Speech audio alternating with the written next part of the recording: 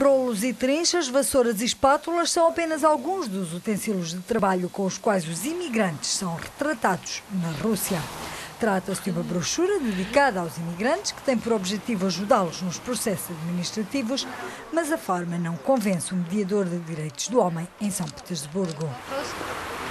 Э, Когда трудовые мигранты, которые приезжают Quando os imigrantes chegam do Uzbequistão, do Tadjiquistão e de outros países e são retratados como espátulas, vassouras e outros utensílios, enquanto todas as outras personagens da brochura são representadas como pessoas, но людьми, при isto этом, coloca quem cá vive contra os visitantes. представление тех, кто в Петербурге E esta живет. comparação é insultuosa. И э, я думаю, что даже немножко оскорбительное такое противопоставление.